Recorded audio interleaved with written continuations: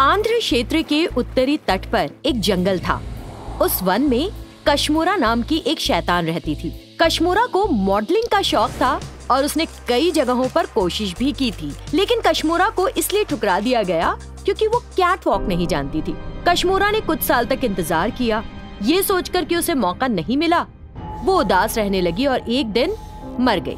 कश्मोरा उस अधूरी इच्छा के कारण शैतान बन गई। मौत के बाद भी उसकी इच्छा नहीं मरी।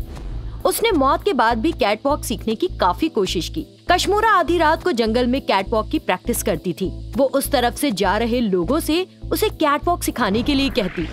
जब लोग कहते कि उन्हें नहीं पता है, तब भी वो उनकी बात नहीं मानती और जब वे भागने की कोशिश करते तो उन्हें निर्दयता से मार डालती। उस जंगल के पास एक गाँव में रामू नाम का एक व्यक्ति रहता था। वो एक अच्छा और बहुत बुद्धिमान व्यक्ति था। वो किसी भी समस्या से डरता नहीं था। और अपनी चतुरता से मुसीबतों से बच जाता था। एक दिन रामू को आधी रात को जंगल से गुजरकर यात्रा करनी पड़ी। हमेशा की तरह कश्मोरा वहाँ कैट वॉक की प्रैक्टिस कर रही थी। अचानक वो कश्मोरा के सामने आ गया। शैतान को देखकर रामू थोड़ा डर गया।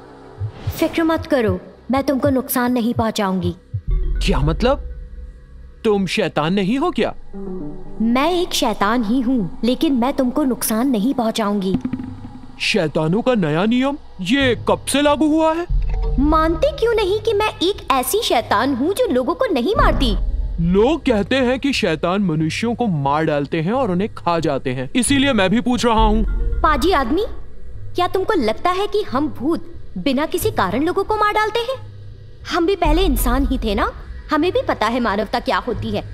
लेकिन हम उन लोगों को मारते हैं जो हमारी इच्छा को पूरा करने से मना कर देते हैं।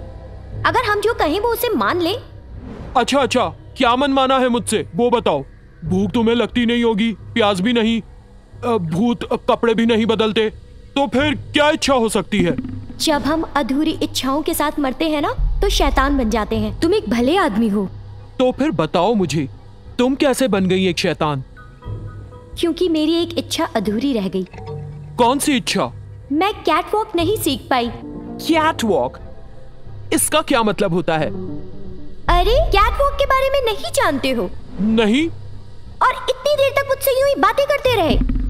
तो क्या मुझे तुम्हारे साथ बात करने के लिए कैट वॉक पता होना चाहिए? तुमने मेरा इतना सारा समय जबरन बर्बाद करा।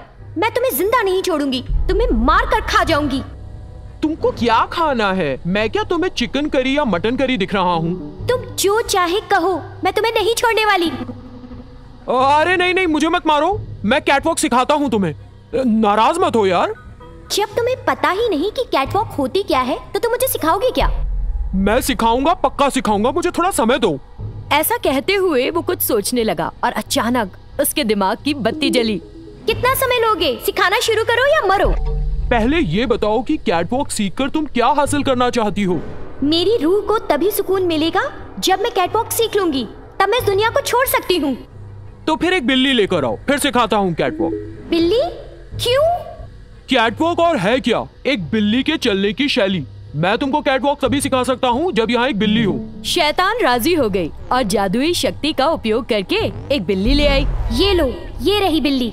कश्मोरा ने बिल्ली रामू को दे दी। इसके बाद रामू ने बिल्ली को ज़मीन पर रखकर सीटी बजाई। तुरंत वहाँ से बिल्ली भाग गई। बिल्ली को इस तरह भगा क्यों दिया? मुझे बिल्ली लाने के लिए क्यों कहा? वही तो राज है। तुम कैटवॉक तभी सीख पाओगी जब तुम बिल्ली को पकड़ो और उसके साथ चलो। बिल्ली की तरह ही चलना है। वाह बहुत शुक्रिया। तुम्हारी वजह से मुझे कैटवॉक सीखने का तरीका आ गया।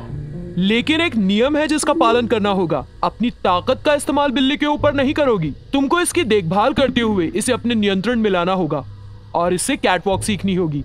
अगर तुम अपनी हद पार करोगी तो अपने जीवन में कभी कैटवॉक नहीं सीख पाओगी। ये कहकर रामू तो चला गया। उसके बाद कश्मोरा का बिल्ली को पकड़ने का संघर्ष शुरू हुआ। बिल्ली को पकड़ने की कोशिश करते हुए वो कैटवॉक सीखना ही भूल गई। अच्छी बात ये रही कि ग्रामीणों को उस शैतान से मुक्ति मिल गई।